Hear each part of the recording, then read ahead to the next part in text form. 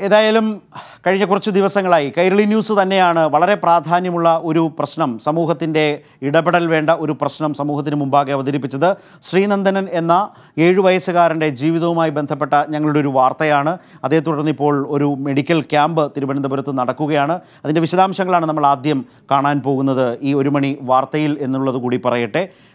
അതായത് ശ്രീനന്ദന്റെ ജീവിതം തിരിച്ചുപിടിക്കാൻ കൈകോർക്കുകയാണ് തലസ്ഥാന നഗരി.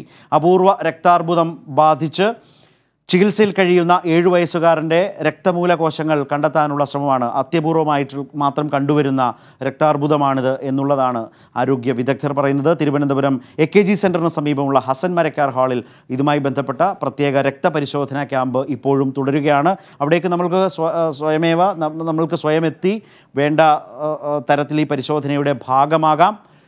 ഇപ്പോൾ സ്പീക്കറെ അവിടെ കാണാം.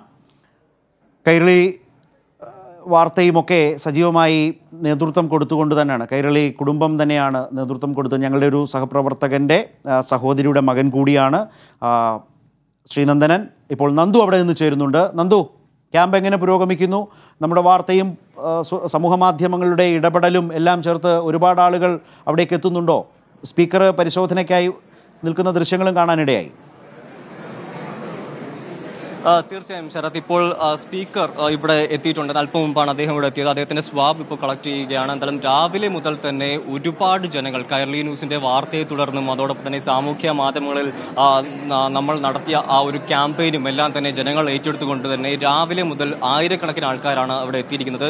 കുറച്ച് മുമ്പേ ഞാൻ ശ്രീനന്ദിന്റെ അച്ഛനോട് സംസാരിപ്പിച്ച് സംസാരിച്ചപ്പോഴും പറഞ്ഞ ഒരു കാര്യം ആയിരത്തിന് മുകളിൽ ആൾക്കാരോട് എത്തിയിട്ടുണ്ട്. ഇപ്പോൾ സ്പീക്കർ എം പി രാജേഷ് അദ്ദേഹത്തിന്റെ സ്വാബ് കളക്ട് ചെയ്ത് കഴിഞ്ഞു. അദ്ദേഹത്തിന്റെ വാക്കുകൾ നമുക്ക് കേൾക്കേണ്ടിയിരിക്കുന്നു സാർ ശ്രീനന്ദന് വേണ്ടി ഒരു നാടാകെ തന്നെ ഇപ്പോൾ കൈകോർത്തിരിക്കുകയാണ്. അപ്പം സാറും ഇവിടെ എത്തിയിരിക്കുകയാണ്. എങ്ങനെ കാണും? ഞാൻ ഇന്ന് രാവിലെ ഓഫീസിലിരിക്കുമ്പോഴാണ് അറിഞ്ഞത്. നിയമസഭാ സെക്രട്ടറി ഉണ്ട്. അദ്ദേഹമാണ് ഇങ്ങനൊരു കാര്യം ശ്രദ്ധയപ്പെടുത്തിയത്.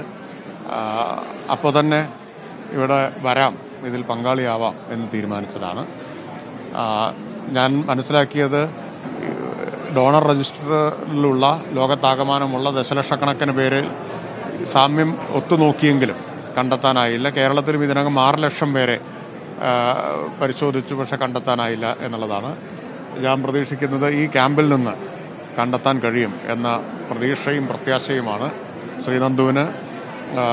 ജനിതക സാമ്യമുള്ള ഒരു ദാതാവിനെ ഇവിടെ നിന്ന് കണ്ടെത്താൻ കഴിയട്ടെ എന്ന് ആശംസിക്കുകയാണ്. ആ ശുഭപ്രതീക്ഷ ഞാൻ പങ്കുവെക്കുകയാണ്. സാർ ഒരു കാര്യം കൂടി. കൈരളി ന്യൂസിന്റെ ഒരു ഇടപെടലിൽ ഏറ്റവും പ്രധാനപ്പെട്ട ഒരു കാര്യമാണ്. കൈരളി ന്യൂസ് ഈ വാർത്ത ആദ്യം കൊണ്ടുവരികയും അതിനുശേഷം സാമൂഹ്യ മാധ്യമങ്ങൾ വലിയൊരു ക്യാമ്പയിനാക്കി മാറ്റുകയും ചെയ്തിരുന്നു. പ്രത്യേകിച്ച് മന്ത്രിമാരടക്കം ജോൺ ബ്രിട്ടാസ് എം പി അടക്കം ഒരുപാട് ആൾക്കാർ അത് ഷെയർ ചെയ്യുകയും ഇപ്പോൾ ആയിരക്കണക്കിന് ആൾക്കാരാണ് ആദ്യത്തെ മണിക്കൂറിൽ തന്നെ എത്തിയിരിക്കുന്നത്. ആ ഒരു വാർത്തയെ കൂടി അങ്ങനെ കാണാം? കൈരളി നടത്തിയിട്ടുള്ള ഇടപെടൽ മാതൃകാപരമാണ് അഭിനന്ദനാർഹമാണ് മനുഷ്യത്വപൂർണമായിട്ടുള്ള ഒരു ഇടപെടലാണ്. ഇത് എല്ലാ മാധ്യമങ്ങൾക്കും മാതൃകയാക്കാവുന്നതാണ്. എങ്ങനെയെല്ലാമാണ് മാധ്യമങ്ങൾക്ക് ഇതുപോലുള്ള കാര്യങ്ങളിൽ സമൂഹത്തെ ആകെ പ്രചോദിപ്പിക്കാൻ കഴിയുക എന്നതിന്റെ ഒരു ഉജ്ജ്വല ഉദാഹരണമായിട്ടാണ് ഞാൻ ഇതിനെ കാണുന്നത്. ഒരുപാട് നന്ദി സാർ ഒരുപാട് നന്ദി. ശരത് ഇപ്പോൾ സ്പീക്കർ എം പി രാജേഷാണ് ഇപ്പോൾ നമ്മോടൊപ്പം ചേർന്നത്. അദ്ദേഹം പറയുന്ന വാക്കുകൾ നമുക്ക് തന്നെ വലിയൊരു പ്രചോദനമാണ്. കാരണം ഒരു വാർത്താ ചാനൽ വഴി ഇന്ന് ഒരു നാടാകെ ഒരുമിച്ച് ഇപ്പോൾ തിരുവനന്തപുരം എ കെ ജി സെന്ററിന്റെ തൊട്ടടുത്ത് ഹസൻ മരിക്കാർ ഹാളിൽ എത്തിയിരിക്കുകയാണ്. ശരി നന്ദു.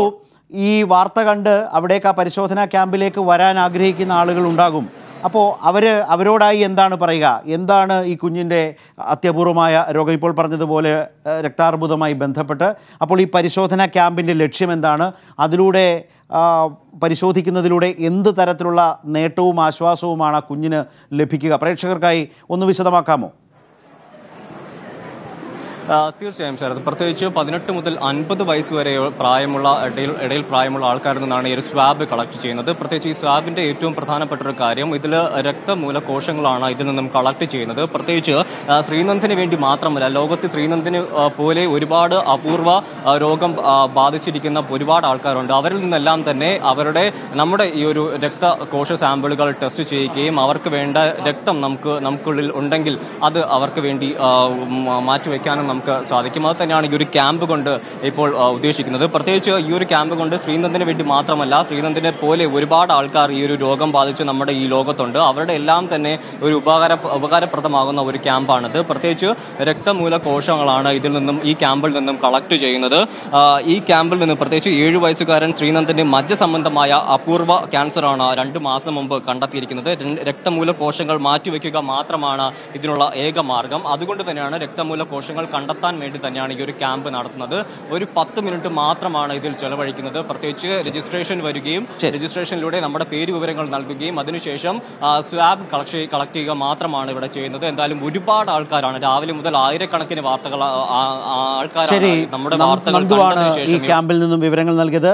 രക്തമൂല കോശങ്ങൾ കണ്ടെത്താൻ ജനിതക സാമ്യമുള്ള ദാതാവിനെ കണ്ടെത്തണം. അതിനു വേണ്ടിയിട്ടാണ് ഇപ്പോൾ അവിടെ ക്യാമ്പ് സംഘടിപ്പിച്ചിരിക്കുന്നത്. കൈരളി ന്യൂസിന്റെയും മറ്റും വാർത്തകളിലൂടെ സമൂഹ മാധ്യമങ്ങളുടെ ഇടപെടലിലൂടെ ഒട്ടേറെ ആളുകൾ അവിടേക്ക് വരുന്നു. ഈ വാർത്തയറിഞ്ഞ സ്പീക്കറും അത്തരത്തിലേക്കുള്ള പരിശോധനയ്ക്ക് വിധേയമായി. അദ്ദേഹവും ജനിതക സാമ്യമുള്ള ഒരു ദാതാവായി ഈ പരിശോധനയിൽ ആര് മാറും എന്നുള്ളതാണ് അറിയാത്തത്. അങ്ങനെ ഒരാളെ കണ്ടെത്തിയാൽ അത് ആ കുഞ്ഞിന്റെ ജീവിതത്തിലെ വലിയൊരു നേട്ടവും മാറ്റവുമാണ്. അതിനുള്ള വലിയ പരിശ്രമമാണ് അവിടെ ഇപ്പോൾ നടന്നു വരുന്നത് നിയമസഭാ സ്പീക്കർ എം പി രാജേഷ് അടക്കം ആളുകൾ അവിടേക്ക് എത്തുന്നുണ്ട്. സാധാരണക്കാർ ഒട്ടേറെ ആളുകൾ വാർത്തയറിഞ്ഞ് ആയിരത്തിൽ പരം ആളുകൾ ഇതിനോടകം തന്നെ അവിടെ എത്തിയിരിക്കുന്നു. ഈ വാർത്ത കാണുന്ന അവിടേക്ക് എത്താൻ സാധ്യതയുള്ള സഹ കഴിയുന്ന ആളുകൾ തിരുവനന്തപുരത്തെ എ കെ ജി സെന്ററിനടുത്തുള്ള ഹസൻ മരക്കാർ ഹാളിലേക്ക് നിങ്ങൾ സ്വന്തം ഇഷ്ടപ്രകാരം വന്നു ചേരുക.